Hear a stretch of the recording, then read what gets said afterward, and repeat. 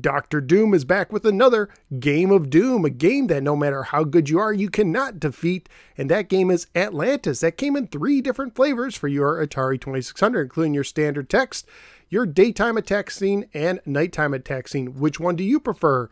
Text? No, no, daytime, nighttime?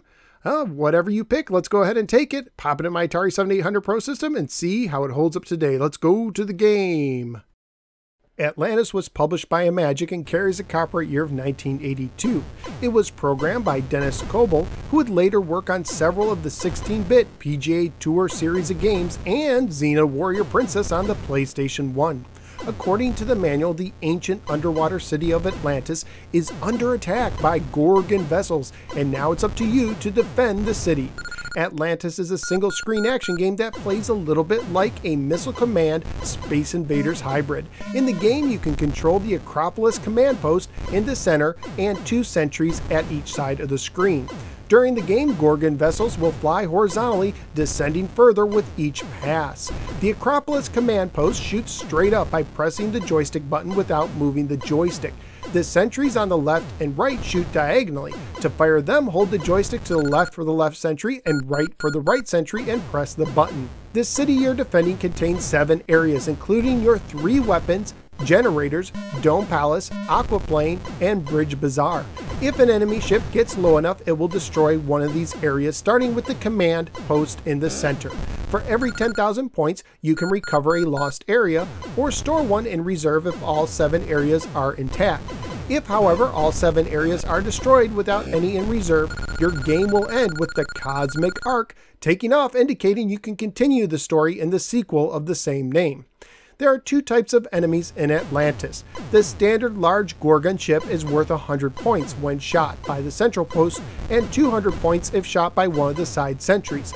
The smaller Bandit bomber is worth 1000 points if shot by the central post and 2000 points if shot by the side sentry. Shooting the Bandit bomber will also cause all the other enemy ships to explode, although you won't gain any extra points for them. If you survive a wave, you will also get 500 points for each area still intact.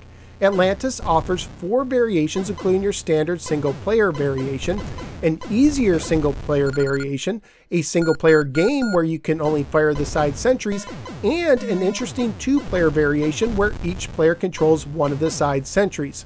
Graphically speaking, I thought the game looked pretty nice, especially the details in the underwater city. This is a definite step up over Missile Command on the 2600. Sound effects in the game were limited, but they did get the job done.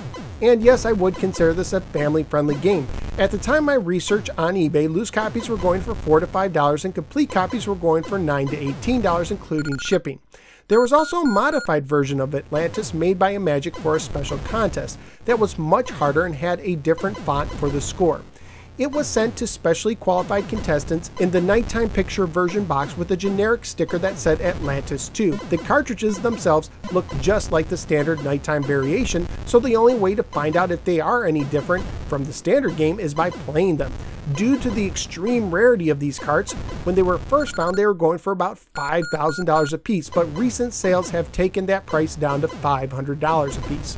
So what did I think of Atlantis? Well, I've said before in a previous video that I'm not the biggest Atlantis fan, but I did enjoy it more than I thought I would. It's a game that controls well, and I can enjoy every now and then, but the gameplay is a bit repetitive, so it's not a game I'd play for more than 5 to 10 minutes at a time. However, someday I would like to try the unique two-player game. So where am I going to rank Atlantis? For me, it's going to be somewhere in the middle. Now, I know some of you will think this is crazy, but I actually enjoy the two stage 2600 version of Donkey Kong a little bit more than Atlantis at 49, but I will give it an edge over Sir Lancelot at 50. So out of the 95 games I've now ranked on the 2600, Atlantis is going to be defending the 50 position. Atlantis is a solid title on the 2600. So what do you think of Atlantis on the 2600? Whether you agree or disagree with me, feel free to let me know in the comments below. Also, feel free to click the like and subscribe buttons. If you'd like to support the show, you can do so at Patreon. Just go to patreon.com slash gamer for more information. You can also follow me on both the Facebook or the Twitter. Thank you for giving me a little part of your day, and I look forward to seeing you next time on the next episode of the No Swear Gamer. Take care, and now I leave you with a poem from the manual. Atlantis, its last installation devastated, explodes in a fury of fire and radiation. But wait, a satellite streaks into space. Where is it bound? Has someone survived the Gorgon onslaught? Can the cosmic ark repopulate the ocean metropolis? The saga continues in the next episode of the No Gamer when I review Cosmic Ark. See you then, everybody.